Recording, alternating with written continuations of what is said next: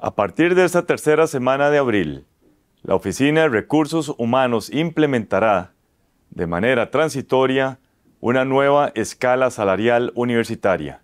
Es importante señalar que la misma aplicará únicamente a las contrataciones de personas que no hayan tenido ninguna vinculación laboral durante el último año con el sector público. Es decir, Todas las personas que actualmente laboran en la institución mantienen sus mismas condiciones laborales. Lo anterior es resultado de un largo proceso de estudio que iniciamos en el 2021 y en el que participó el Consejo Nacional de Rectores. Los análisis actuariales y las proyecciones realizadas permiten construir salarios competitivos y financieramente sostenibles. Esta decisión se enmarca en el acuerdo del Consejo Universitario del pasado 7 de marzo, en el que se autorizó a la Rectoría a que defina un sistema de salario transitorio para el personal que ingrese a la Universidad de Costa Rica a partir de la entrada en vigencia de la Ley Marco de Empleo Público. La escala transitoria estará vigente hasta la aprobación de la reglamentación final en la cual el Consejo Universitario se encuentra trabajando y deberá estar lista en los próximos meses.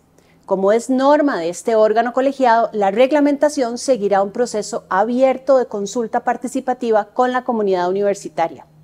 Regular la política salarial de la institución mediante reglamentos asegura además que estas decisiones tengan el respaldo institucional adecuado en el largo plazo y se realiza el ejercicio de la autonomía universitaria, resguardando así el sistema de régimen académico que beneficia a la institución reconoce el talento y el mérito de su recurso humano.